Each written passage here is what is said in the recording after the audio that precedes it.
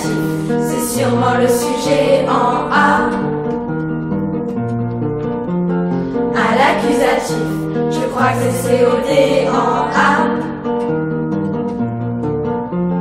Le génétif ou le CDN en A.